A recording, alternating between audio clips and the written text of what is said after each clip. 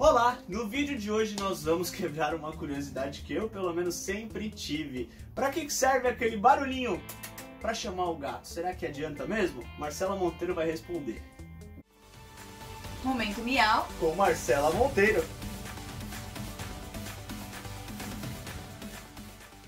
E aí, Mar? E aí, tudo bom? Tudo bom? Hoje eu quero tirar essa dúvida que eu nunca entendi por que, que a gente faz aquele.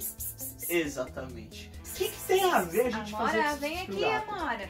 Lembra o som dos roedores, dos passarinhos, das presas? Pensa. Mas aí quando o gato tá vindo pra você, ele não vai pensar que é uma presa? Não, ele vai ficar. Ah, ele vem Alerta. porque ele, ele tá atento, tá alerta. Os gatos gostam de som, tons agudos, então se você for pensar na música, o violino, um piano, é agradável pro O gato. gato gosta então de música clássica? Gosta de música clássica. Olha só que refinados que eles são, né? Muito mais refinado que o cachorro, Você né? sabia que já existe um canal de música no YouTube chamado Relax My Cat? Para Você tá brincando? esses gatinhos? Olha só, então pra você que tem um gato aí, já sabe, Relax My Cat. Pra deixar seu gato assim, ó. A gente não tocou, ele já ficou assim. Imagina só se colocar. Tem no YouTube, tem no Spotify e é realmente eficaz. Eles gostam, eles interagem, eles ficam calmos.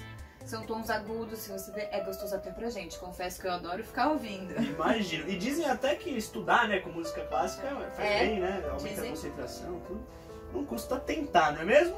Muito legal, mãe. Então hoje nós aprendemos muito mais do que eu pensei que eu ia aprender com a minha simples pergunta. É isso aí. É isso. Então, da próxima vez que você chamar um gato, lembre-se da gente, deixe a sua curtida, inscreva-se no canal e até o próximo vídeo.